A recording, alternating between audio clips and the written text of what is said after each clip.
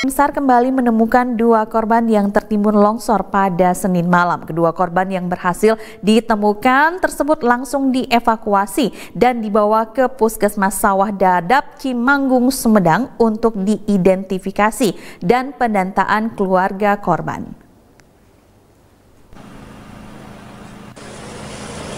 Pencarian korban yang masih tertimbun longsor di Desa Cihanjuang, Kecamatan Cimanggung, Kabupaten Sumedang, Provinsi Jawa Barat kembali membuahkan hasil. Dua orang korban berhasil dievakuasi oleh tim SAR.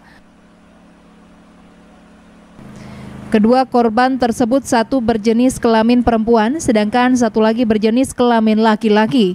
Korban berjenis kelamin perempuan dievakuasi sekitar pukul 21 malam pada Senin 11 Januari 2021. Berselang satu jam kemudian korban kedua berjenis kelamin laki-laki berhasil ditemukan dan langsung dievakuasi.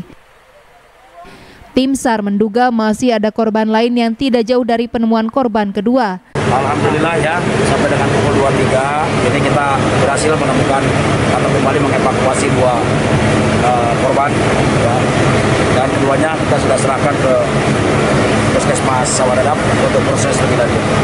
Jadi upaya hari ini karena situasi juga sudah tidak memungkinkan dan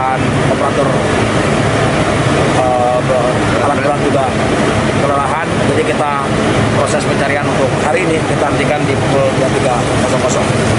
Selasa pagi 12 Januari 2021, tim SAR kembali menemukan dan mengevakuasi korban yang sudah terdeteksi malam sebelumnya. Hingga Selasa siang 12 Januari 2021, data sementara korban tercatat korban meninggal total 16 orang dan masih dalam pencarian sebanyak 23 orang. Diki Guntara, Bandung TV.